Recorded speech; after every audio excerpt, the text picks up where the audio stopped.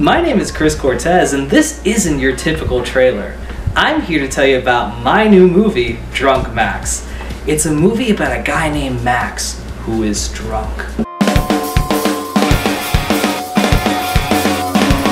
I'll be making this movie completely drunk. And by drunk, I mean I'm entering a taxi cab at 1 a.m., missing a shoe, and wanting to visit Taco Bell drunk.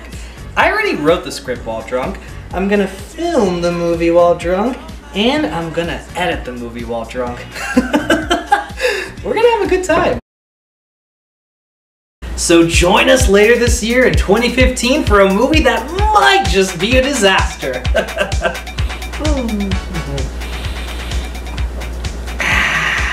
yeah, we're gonna need more of these.